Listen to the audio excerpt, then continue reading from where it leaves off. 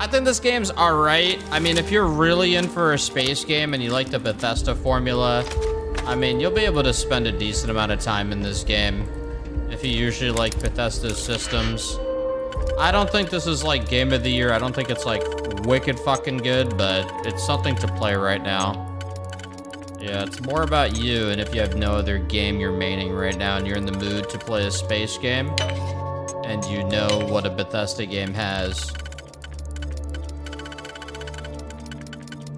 It's kind of all it comes down to.